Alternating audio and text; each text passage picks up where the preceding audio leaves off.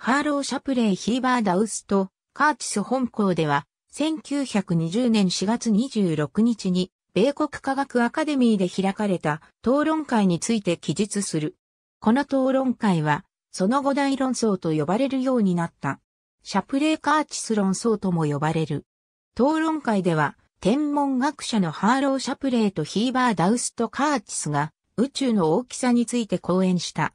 シャプレーは我々のいる銀河系の直径は約30万光年で当時発見されていた渦巻き星雲はこの銀河系の内部に存在すると主張した。これに対してカーチスは銀河系の直径は約3万光年で渦巻き星雲は我々の銀河系の外に存在すると主張した。我々の住むこの宇宙の大きさを初めて測定し発表したのは天文学者ウィリアム・ハーシェルだった。ハーシェルは星は宇宙空間内に一様に分布し望遠鏡を使えばすべての星を見ることができるという過程のもとで夜空の星を観測し1785年に宇宙の全体図を発表した。ハーシェルの考えた宇宙は円盤型で、直径が約6000光年、厚さが最大で1100光年だった。19世紀、フーゴ・フォン・ゼーリガーは、星の明るさが1等級暗くなると地球から見える星の数はどのくらい増加するかを調べることで、星の空間密度を求め、宇宙は扁平な形をしていることを定量的に導いた。ヤコブス・カプタインはこのゼーリガーの研究を発展させ、自らが導いた平均視差の公式などから星の空間密度分布を求めた。カプタインの研究内容は1901年に出版され、詳細な解析結果は1922年に発表された。カプタインの考えた宇宙モデルはカプタイン宇宙と呼ばれる。カプタイン宇宙は回転楕円体で長軸の長さは16キロパーセク。太陽は宇宙の中心近くに位置していた。アメリカのリック天文台に勤めていた天文学者ヒーバー・ダウスト・カーチスもカプタインと同程度のスケールの宇宙を考えていた。さらにカーチスは星雲について着目した。当時、星雲についてはアンドロメダ星雲などの存在が知られていたが、これらの星雲がいかなるもので地球からどの程度離れているか、詳しいことは分かっていなかった。カーティスは、リック天文台のクロスリー望遠鏡で撮影した星雲の写真を分析し、星雲の形は渦巻き型が最も多いと判断した。渦巻き型の星雲はその形からして回転していると考えるのが自然に思えたが、観測では回転している様子は全く見られなかった。そのためカーティスは、これらの星雲は非常に大きく、そして回転が観測できないほど遠くにあるのではないかと考えた。カーチスはその後もデータ収集を続け、これらの星雲は我々のいる銀河の外側にある別の銀河なのではないかと考えるようになった。このような宇宙には天の川銀河以外にもいくつもの銀河があるという考え方はカーチス以前にもイマヌエル・カントラによって唱えられており、島空説と呼ばれている。NGC6946 カーチスが観測とデータ収集を続けている。その最中の1917年、ウィルソン山天文台のジョージ・ウィリス・リッチーは NGC6946 で申請を発見した。この申請はその頃考えられていた新星爆発時の明るさと比べて非常に暗かった。この発見をきっかけにカーチスら天文学者たちは、過去に撮影した写真と現在の写真を比較することで、星雲内での新星探しに力を入れ始めた。その結果、渦巻き星雲で新星が多数発見された。そしてその多くは、明るさが暗く、他の場所で見つかっていた新星よりも平均で10、等級暗いことが分かった。このことからカーチスは、星雲内の新星が、これほど暗く見えるということは、星雲がそれだけ地球から離れているからだという結論に達した。ケフェード変更性の一例であるケフェウス座デルタ星の高度曲線。見かけの明るさの周期が長いほど絶対高度が大きい。一方その頃、ウィルソンやマ天文台のハーロー・シャプレーも宇宙の大きさを知ろうとしており、特に球状星団の研究を進めていた。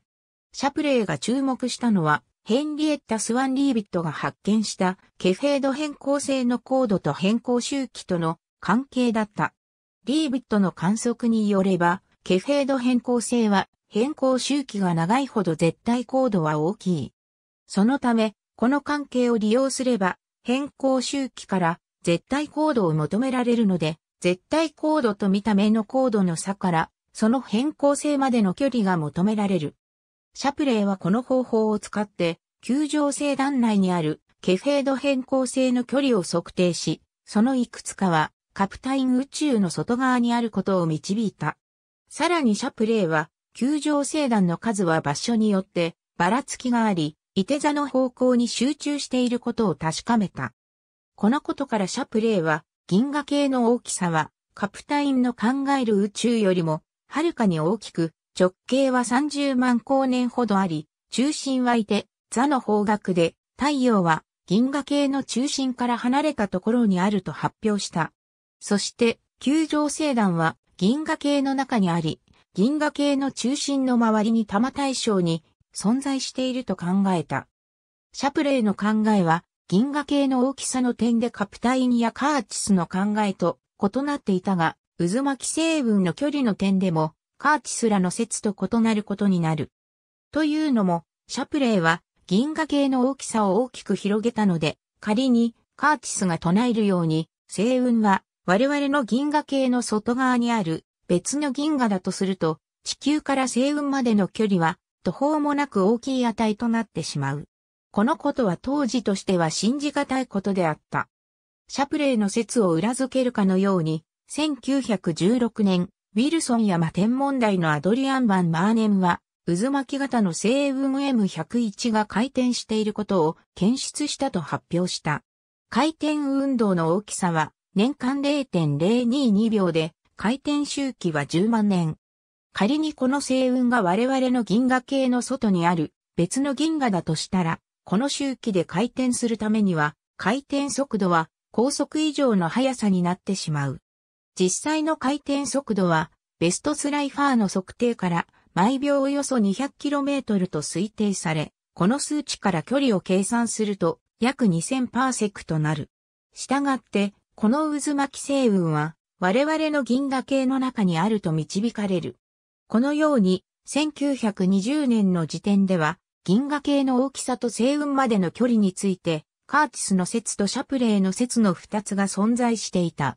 米国科学アカデミー天文学者、ジョージ・ヘールは、亡き父親を称えるべく、1914年から毎年、ヘール講義と呼ばれる講義を主催していた。その講義では科学者の興味を引くような話題を取り上げていた。1920年、ヘールは、米国科学アカデミーの年次総会でこの講義を開こうと考え、アカデミーに提案した。講義のテーマについて、ヘールは当時話題となっていた相対性理論と島空説の二つを考えていた。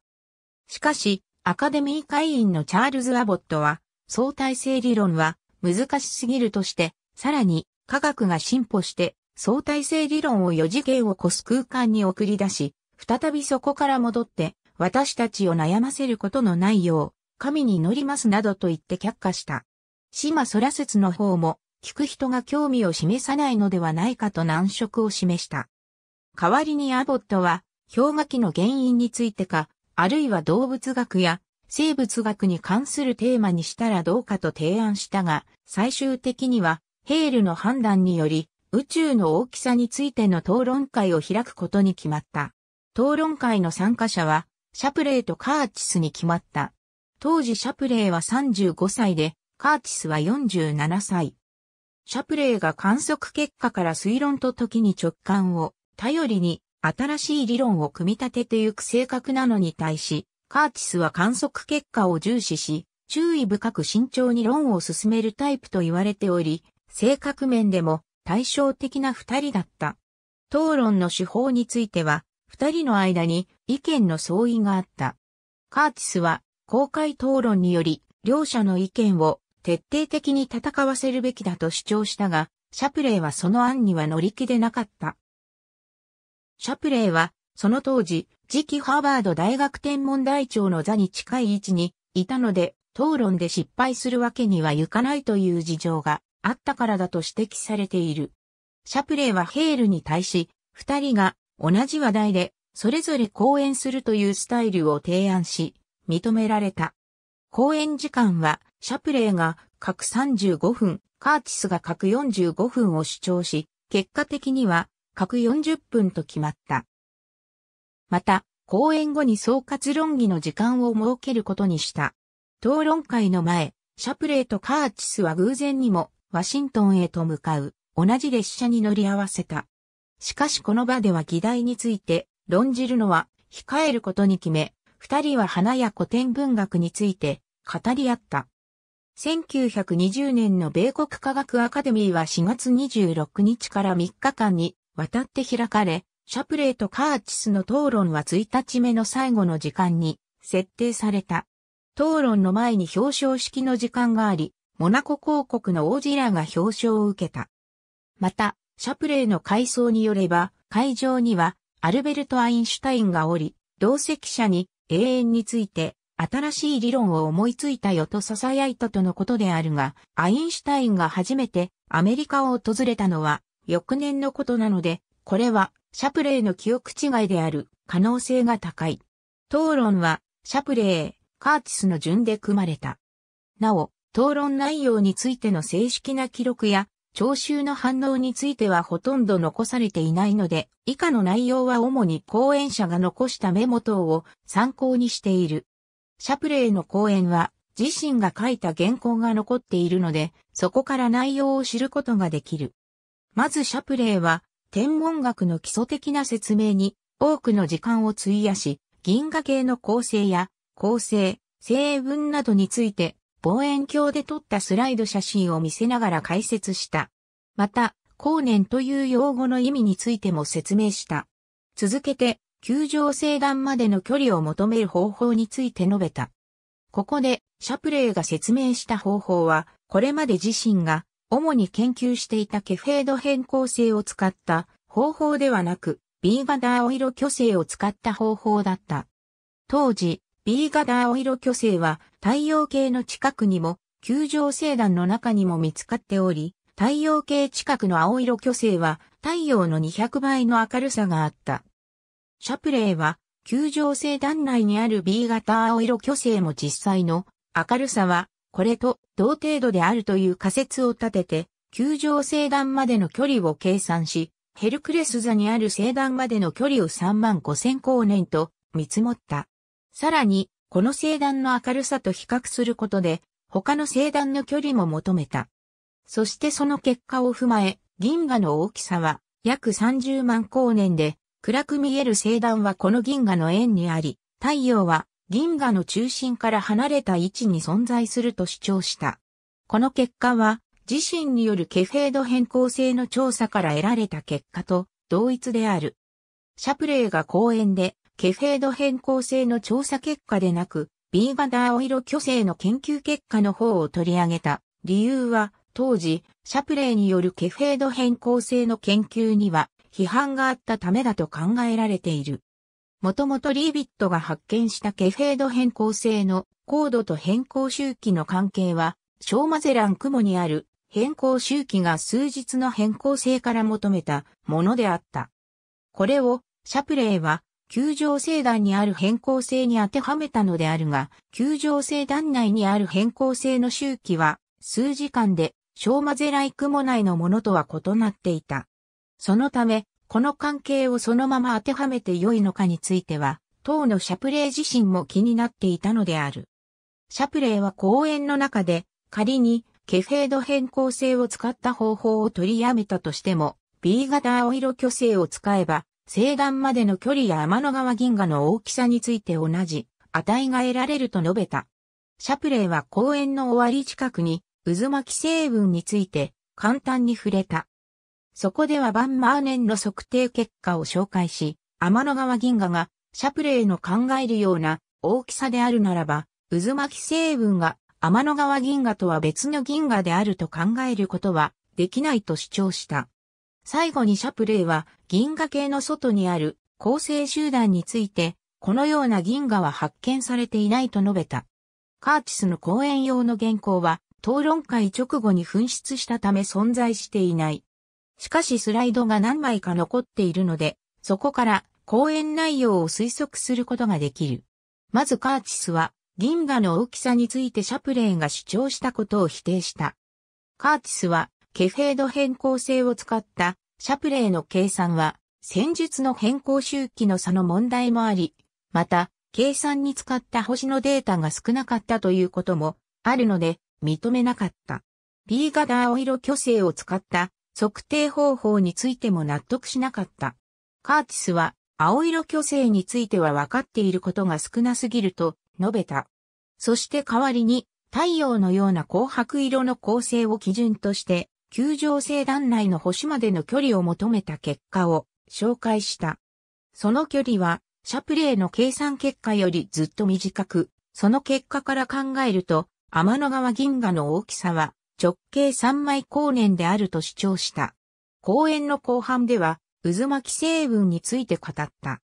渦巻き成分が天の川銀河とは別の銀河であるとする根拠をいくつか挙げ、その一つとして、ベストスライファーが1917年に発表した渦巻き成分の移動速度の研究を取り上げた。スライファーの観測によれば、渦巻き成分は平均で秒速 500km、最も速いものだと、秒速 1100km の速さで移動している。これは、天の川銀河内にある他の構成などと比べて極めて速い。そのためこのような速さで動く天体が天の川銀河系の中に存在するとは考えられないと主張した。カーチスは最後に渦巻き成分が発見される場所に偏りがあることに触れた。渦巻き成分は円盤状をした天の川銀河の上下方向に集中しており、円盤部分には見つかっておらず、星雲のない空間は星雲欠如領域と呼ばれていた。カーティスは、この領域で星雲が見つからないのは、天の川銀河にある宇宙人に遮られているからだと述べた。質疑応答の時間では、シャプレーの死であるヘンリー・ノリス・ラッセルが発言し、シャプレーの説を強く支持した。またこれに対して、島空説の擁護者も応酬した。シャプレイは後に、この討論について、私は割り当てられた主題という観点からすれば、論争に勝ったと思うと述べている。また、カーティスは、なかなかのものだったと思う。理論は間違っていたが、論述が素晴らしかったとも述べた。一方カーティスは、ワシントンでのディベートは成功した。私は叱るべき評価を受けたはずだと家族に報告している。しかしながら討論の2ヶ月後には、シャプレーに向かって私の講義は専門的すぎたように思いますと語っている。ラッセルはこの討論会についてヘールに宛てた手紙で私の教え子は話術をもっと上達させなければならないと書いている。また、ハーバード大学天文台長の選考に関わっていたジョージ・アガシーはシャプレーの講演を評価せず、ハーバード大学長のアボット・ローレンス・ローウェルに、成熟感や力強さに欠け、その地位にふさわしい人物という印象を受けませんでした、と報告した。討論の1年後、二人の主張はアメリカ研究評議会法に掲載されることになった。当初は討論会での講演内容を二人に10ページずつ書いてもらう予定だったが、カーティスは10ページに収めるには電報のような書き方をしなければならないとして、もう10ページの増量を求めた。シャプレーは反論の機会を得るため、事前に二人の論文を交換し合うべきではないかと提案した。シャプレーはこの案を私が前に進んで銃弾を一気に浴びせると、あなたは棍棒を振るう。そうしたら私はあなたの後ろにこっそり回り、覚醒の柄のナイフでぐさっとやると表現している。カーティスもこれに同意し、論文の内容については事前に二人の間で意見が交わされ、最終的にそれぞれ24ページの論文となって雑誌に掲載された。アンドロメダ銀河1923年、エドウィン・ハープルは、ウィルソン山天文台の望遠鏡で、渦巻き成分の M31 及び M33 を観測し、これら渦巻き成分の中に変更性を発見した。ハッブルは変更性までの距離を求めることで、地球から2つの星雲までの距離を約90万光年と導いた。この数値は、シャプレーの考える天の川銀河の大きさである30万光年よりも大きな値であり、したがって、2つの星雲は銀河系の外側にあるということができる。ハッブルの研究結果は1924年12月に初めて発表された。シャプレーは、ハッブルの研究結果を伝える手紙を読んで、この手紙が私の宇宙を打ち砕いたよと言ったという。しかし、このハッブルの研究によって銀河系の大きさに関する問題がすべて解決したわけではなかった。ケフェード変更性を使った距離測定法については天文学者の間で意見が一致していなかったし、ハッブルの研究結果はバンマーネンによる渦巻き成分の回転についての観測結果と矛盾していた。1935年、ハッブルはバンマーネンが測定した渦巻き成分のうち4つを再測定し、固有運動は検出されなかったと発表した。バンマーネン自身も同年に再測定し、自らが以前に発表したほどの固有運動は検出されなかったことを確認した。その後の解析により、バンマーネンが見つけた固有運動は、測定の際の個人誤差によるものだと考えられている。また、ケフェード変更性を用いたハッブルによるアンドロメダ銀河までの距離測定については、後に同銀河内にあるケフェード変更性の周期と高度の関係が、ハッブルが計算に使ったものとは別種族のものであったことが分かった。さらに、星の速攻標準の改正などもあって、現在はアンドロメダ銀河までの距離は約230万光年とされている。一方で、銀河系の大きさと構造については、カーチスよりもシャプレーの説の方が正解に近かったことが分かっている。カーチスの主張した3万光年という直径は、カプタイン宇宙を大きな根拠としているが、これは望遠鏡で観測した星の距離を測った上で、星の空間密度分布から銀河系の大きさを求める方法だった。しかし実際には銀河系内にある星間物質が光を吸収するため、望遠鏡では太陽系から見て遠くの星が観測しにくくなっていた。そのためカプタインは銀河系の大きさを実際より小さく見積もり、さらに太陽系は銀河系の中心近くにあるという結果を導き出すことになった。現在では天の川銀河は直径約15万光年で太陽系は銀河系の中心から2万8000光年離れた位置に存在するとされている。それに対して、シャプレーの考えた30万光年の銀河系は逆に大きすぎる値だった。これは、シャプレーが遠くの星の明るさから距離を測定する際に、銀河系の宇宙人が光を吸収する効果を考慮に入れなかったため、これらの星が実際より遠くにあると計算してしまったことによる。しかし、ケフェード変更性を使って距離を求めるという方法自体は正しく、また、太陽は銀河系の中心から離れた位置にあるという主張も正しいものであった。